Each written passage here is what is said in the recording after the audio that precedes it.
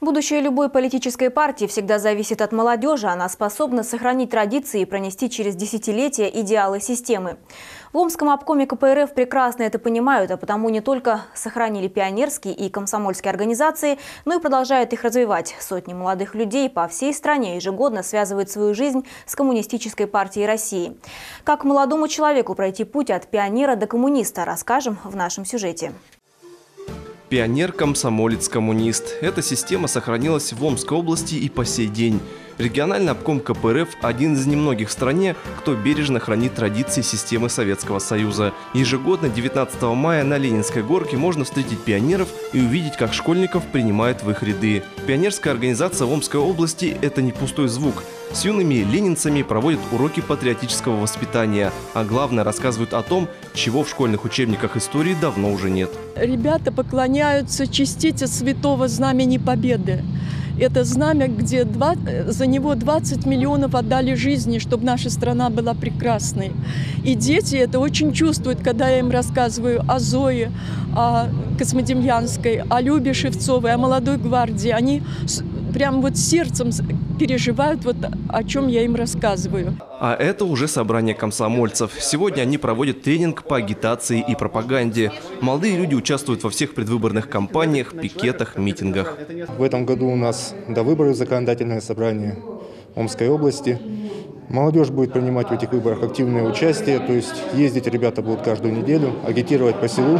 Им надо уметь общаться с людьми. А эти бравые ребята из команды депутата Омского городского совета Ивана Федина. Народный избранник на своем округе возродил Тимуровское движение. Молодые люди приходят на помощь пенсионерам из частного сектора, помогают по хозяйству зимой и летом. Не у всех людей имеется возможность убирать снег, особенно пенсионерам или другим людям, ветеранам правительство, администрация города не заботится об этом. Тот же, например, вывоз снега, это только вывоз. Может обойтись, если мне не изменяет память, в 6 тысяч рублей. А если брать пенсионеров, то это можно считать половина пенсии. Нужно ведь на что-то жить, покупать лекарства. Вот. И наша обязанность даже помогать собственно, по собственной воле.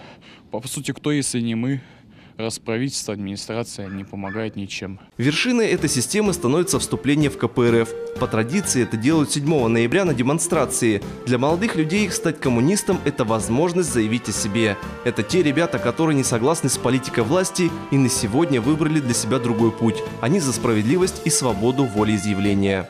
Мне понравилась обстановка, мне понравилось то, что в партии можно развиваться, можно развивать свои организационные навыки. Я считаю, э, это очень важный момент. Я стал э, общественным помощником депутатов буквально через три месяца после вступления в партию. То есть партия поддерживает активных э, коммунистов. Еще через какое-то время я сам был кандидатом в депутаты вначале в законодательное собрание, потом в Омский городской совет.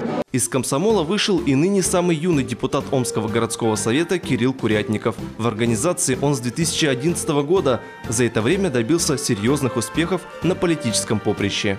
Партия оказала доверие, выдвинула меня самого кандидатом в депутаты э, на выборах в Омский городской совет в 2017 году.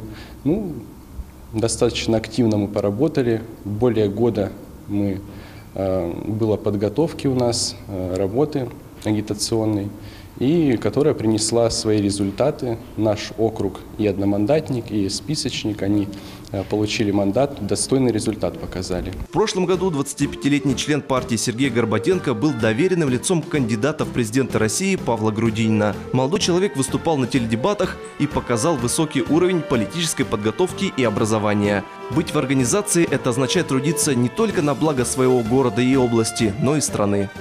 Молодой человек, который активно работает, работает на организацию, который чувствует себя частью нашего коллектива и понимает законы партийности, товарищества, чтобы он чувствовал свою востребованность и нашу поддержку.